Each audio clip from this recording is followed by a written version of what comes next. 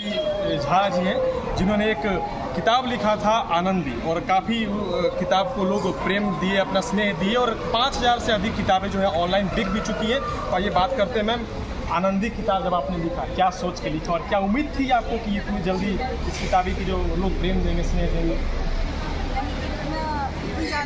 उम्मीद नहीं थी कि इतना ज़्यादा प्यार अचानक से मिल जाएगा।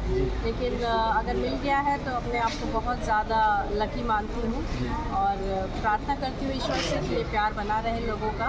और लिखने के पीछे क्या कारण था आपने कहा तो बस दो तीन पंक्तियाँ बोलूँगी जो राइटर हूँ तो बोले बिना रह नहीं सकती लिखने की आदत है।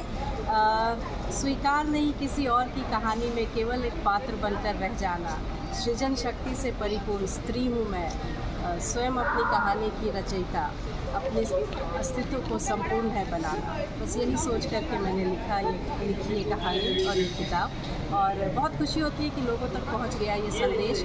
और अभी जो ये नाट्य मंचन हुआ है और जो लेट्स इंस्पायर बिहार द्वारा उसके संरक्षण में जो ये इतना बड़ा मंच मिला है, आनंदी को एक नए स्वरूप से लोगों के साथ जुड़ने का, मोना मोहन झा ने आनंदी को एक नए स्वरूप में लोगों के दिलों तक पहुँचाया इस संदेश को। तो उन सब की बहुत बहुत आभारी हूँ और आदरणीय श्री विकास वैभव सर, जिन्होंने लेट्स इंस्पायर बिहार के द्वारा हर बिहारी को अपने लक्ष्य को एक बड़े मुहिम से जोड़ने के लिए प्रेरित किया।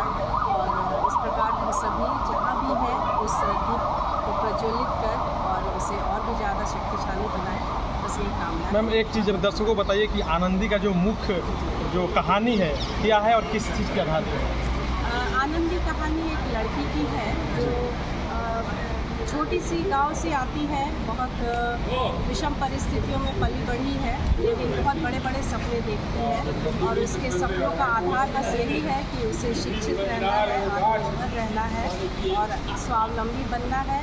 और परेशानियों में भी जो है आपदा में भी अवसर ढूंढते हुए वो कैसे अपने आप को सशक्त करती है अपने साथ साथ अपने परिवार को भी आगे बढ़ाती है और नारी सशक्तिकरण का अपने आप में एक स्वरूप बन जाती है। बहुत बहुत धन्यवाद। हम देखा कि किताब का जो मुख्य उद्देश्य था यही था कि एक नारी कैसे अपने आप को पर, हर परिस्थिति में भी अपने आप को निखार के आगे बढ़ती है। यही कहानी की जो मेन कहानी था। आनंदी आप भी पढ़िए अगर समय मिले तो। बहुत बहुत धन्यवाद।